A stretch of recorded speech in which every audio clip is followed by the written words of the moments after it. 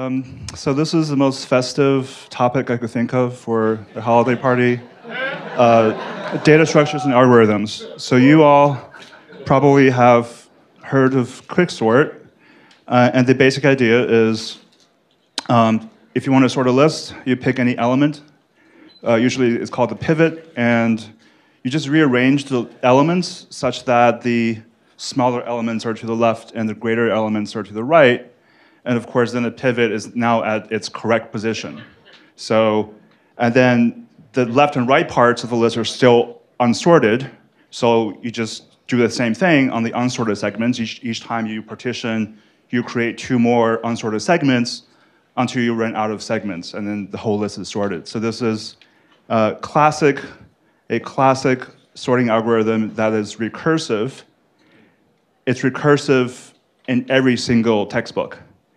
Uh, so this is a simple Python implementation. Um, the partition function, it doesn't really matter how it's done, uh, as long as it tells you um, what position the pivot ends up at. And then the two recursive calls simply say, well, I, I have the pivot, now it just goes toward the left and goes toward the right. And after this whole function finishes, the whole list is sorted.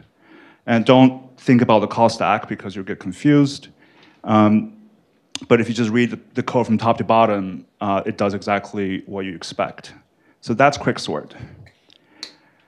Um, and we know that you can turn any recursive implementation into an iterative implementation by maintaining the stack yourself, the call stack. And we know that um, for every function call, the state is only the start and end positions. So the stack is going to contain a, a, a, segment of the list. And as long as the stack is not empty, we pop off the first uh, element of, of the stack, which is the start and end.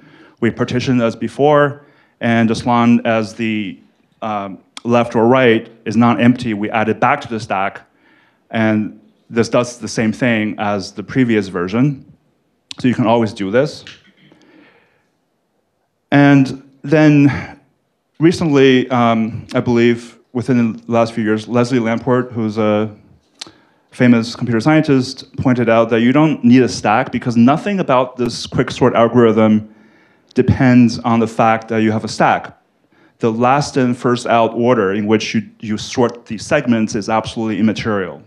So if you just look at the, the algorithm itself, nothing about it is stack, stackful or recursive.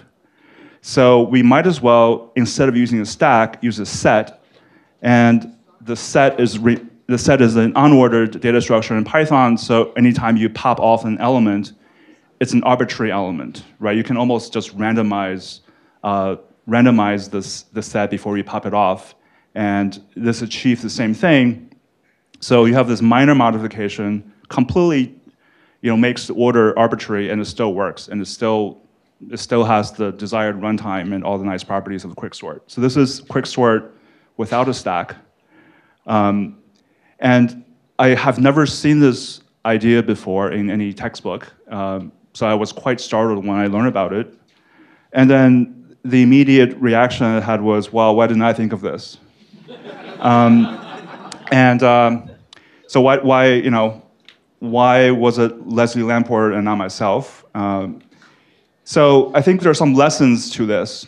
Um, recursion is an implementation technique, and as programmers, we tend to focus on implementation. Um, the algorithm is the idea, is not the implementation.